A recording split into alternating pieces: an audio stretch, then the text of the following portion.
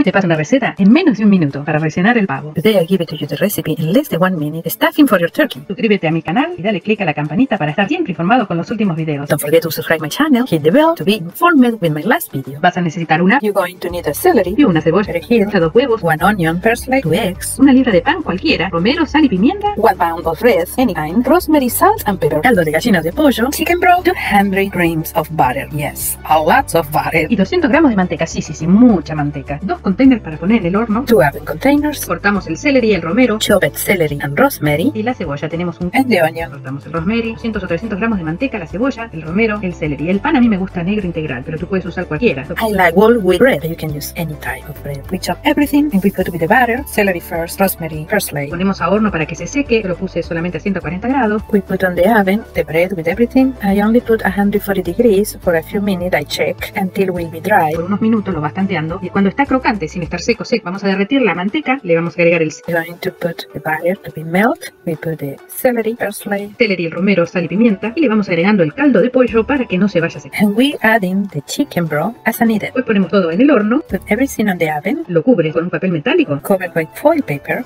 y para que se termine de tostarse lo quitas los últimos minutos. and to be crispy, take it out the foil paper in the last minute. Esta es una receta deliciosa. This is a delicious recipe.